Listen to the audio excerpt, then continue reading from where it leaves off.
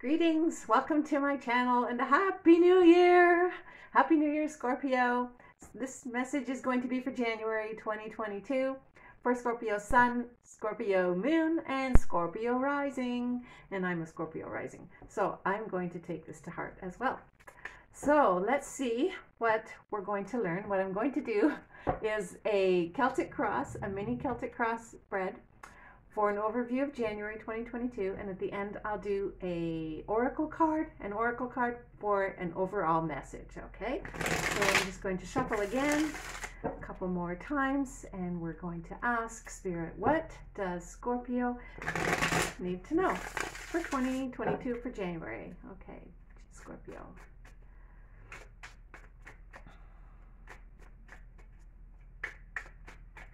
I hope that 2021 was good.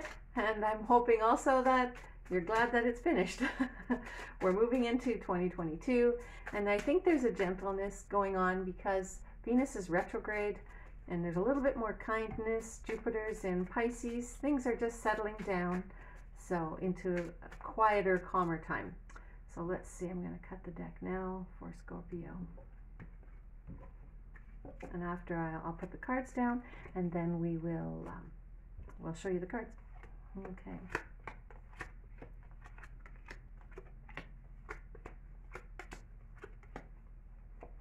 Okay, Scorpio.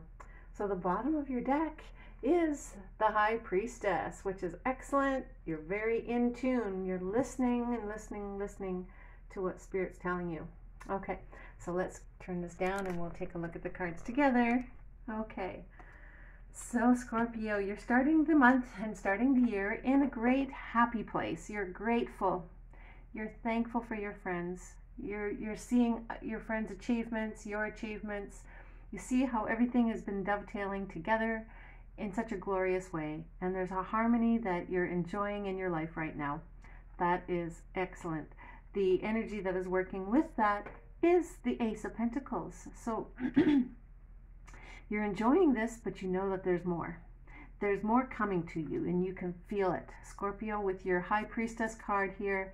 Oh, and underneath it is the Ten of Cups. I'll just leave that right there. So, the Ace of Pentacles is a gift from God, a gift from the universe saying, here's a brand new beginning for you. And it's not just a brand new beginning in something in general, it's very specific. It's in your practical life how you live, where you live, your finances. Something brand new is being gifted to you. There is a garden here, and in this garden, there's lilies. Lilies are wisdom. You've learned an awful lot already, and you're going to go through this portal, which is the gate. This beautiful gate is going to take you into a new realm.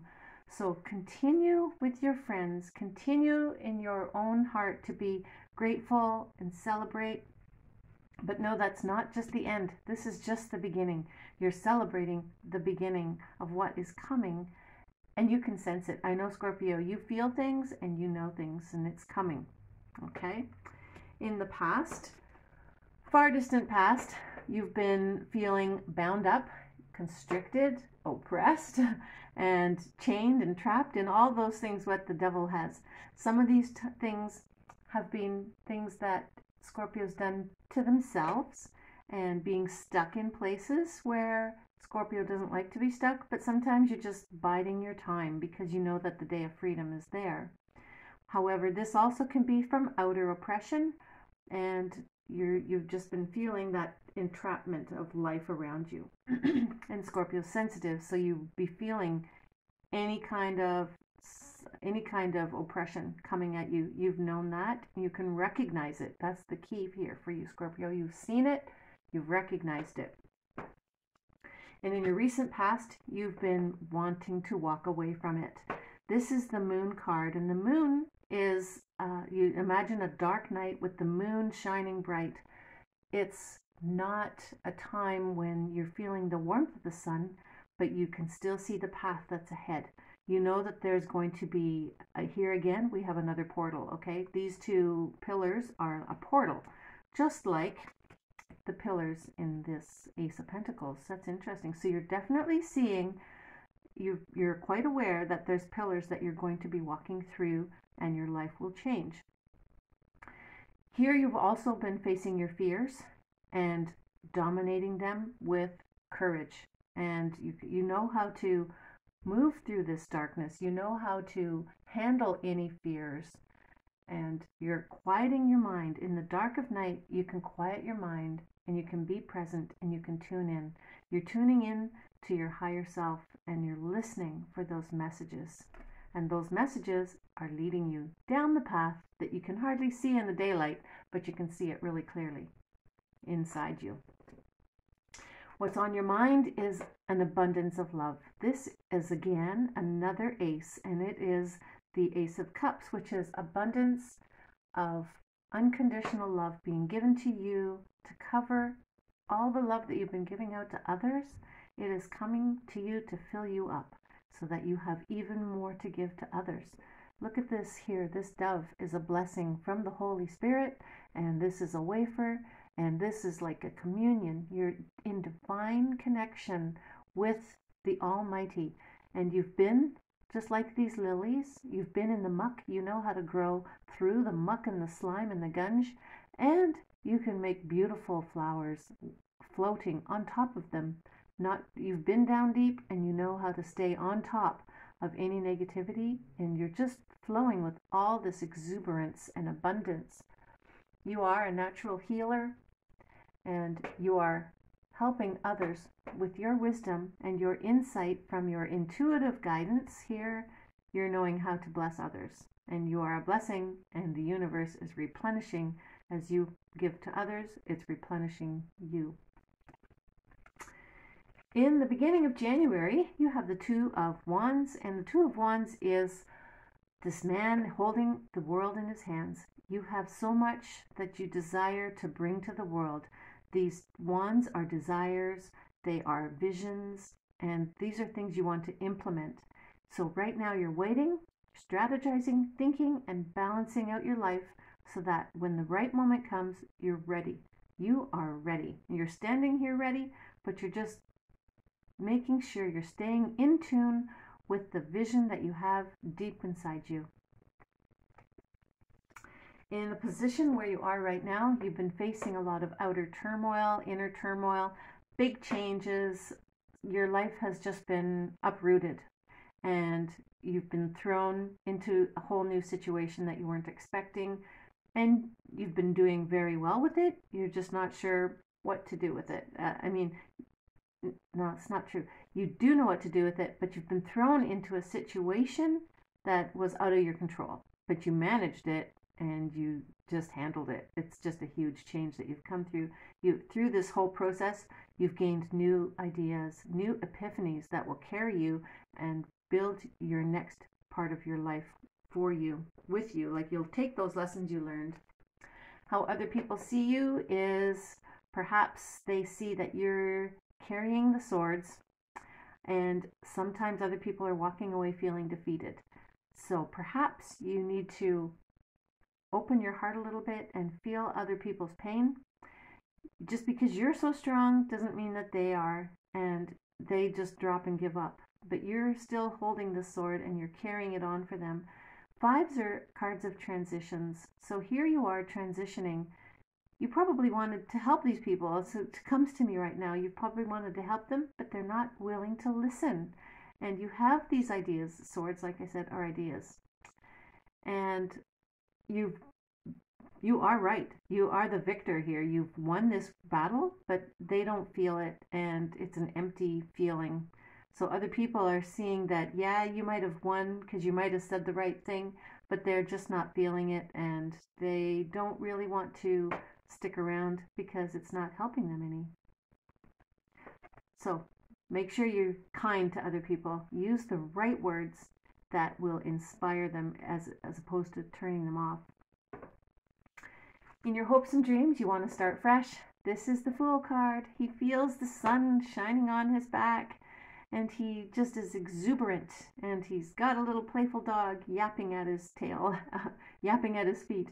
And He's just looking up to the sky, asking the universe, Speak to me, show me what I can do. And you are listening. With this high priestess, you are listening. And this fool is taking the right step at the right time. You know when to step. But this is your dream and hope. You want this, and I'm going to just show you because this is showing you right here. You want to have a, you have the vision. You want to have a new beginning that will lead to lead you to being settled and happy and completely taken care of. You want things to be in a joy of abundance. So that is, you're taking the risk. You want to take the risk, but right now you're just waiting for the right time. And at the end of the month, we still have the Hermit card. So it's time for you to still go inside and calm down. And it's time to listen. See all this gray? We're going to shut the mind off of all its crazy thoughts and you're going to listen for the sound of the water. You're going to listen for the wind in the trees. You're going to look at the star in the night and it's going to speak to you because you're hearing it. You absolutely are hearing messages, and especially when you're alone, when you quiet your mind and you're being present. So be present and tune in. You're a very fierce, instinctual, strong willed, but it's so amazing because it's just going to benefit so many people in the world. Your visions are going to come to reality, but before they come to reality, take this time and listen. Quiet your mind and listen, listen, listen. And you will share your radiant soul with the world. We're going to um, shuffle and take a, a card from the Wisdom of the Oracle for the theme of the month. Okay, so that's for January 2022 for Scorpio. What is the message we need for Scorpio?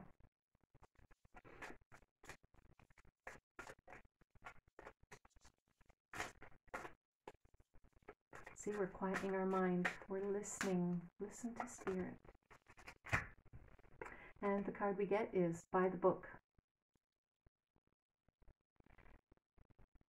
We can meditate by the book or we can throw the book away.